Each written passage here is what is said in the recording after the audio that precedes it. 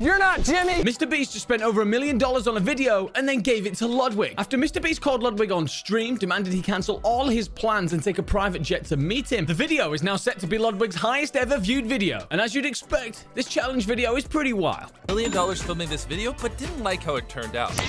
Working lightsabers. Oh, oh my god. This is like a real life mousetrap. Oh! Shut up, Ludwig.